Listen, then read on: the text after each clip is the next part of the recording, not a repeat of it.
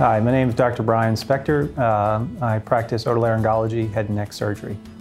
Okay. My name is Dr. Melvin Field, and I'm a, a neurosurgeon who specializes in minimally invasive brain surgery. Dr. Field and I um, uh, perform endoscopic approaches to tumors that line up along the uh, uh skull base.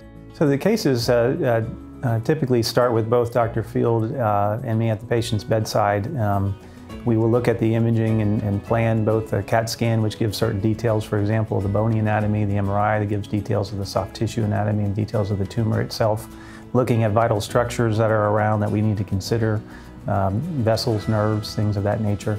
Uh, as far as uh, the initiation of the surgery, um, I'm usually uh, doing that uh, on my own um, to, to begin the nasal approach. And, and that is a matter of uh, removing some anatomy. It's really interesting. The sinuses are a bit like rooms. They have these wind, these doors into the room, or these, we call them ostia, the mouth that opens into the sinus. And so we go into those natural ostia, uh, typically into a sinus called the sphenoid sinus. We make use of the natural opening and then we expand it almost as if you're going to take the front wall off of the room in a renovation project.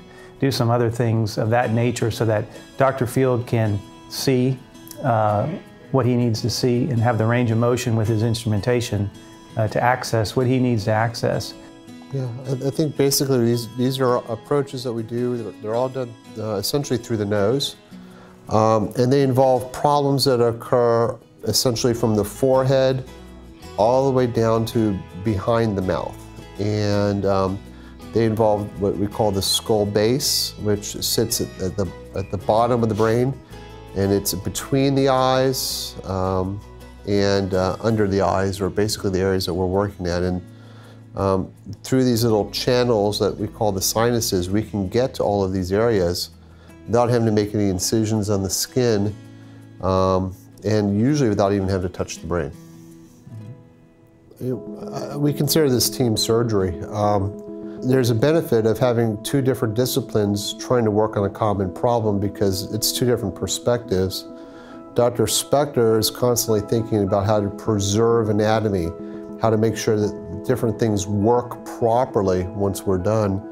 And sometimes our, my goal is more of how do I get to that anatomy? How do I remove a problem? And so we, we kind of use his skill set to help preserve things, and, and he's using my skill set to help in terms of getting there. And I think that complements things very well. Um, I think our patients do well with that. It's, it's much better than having us do it on our own. Um, there, there's no way that I could do as good of a job as what he does on my own. And I would probably say he probably wouldn't be able to do what I do on his own either. But together, I think we, we accomplish a very good job for these patients. For sure.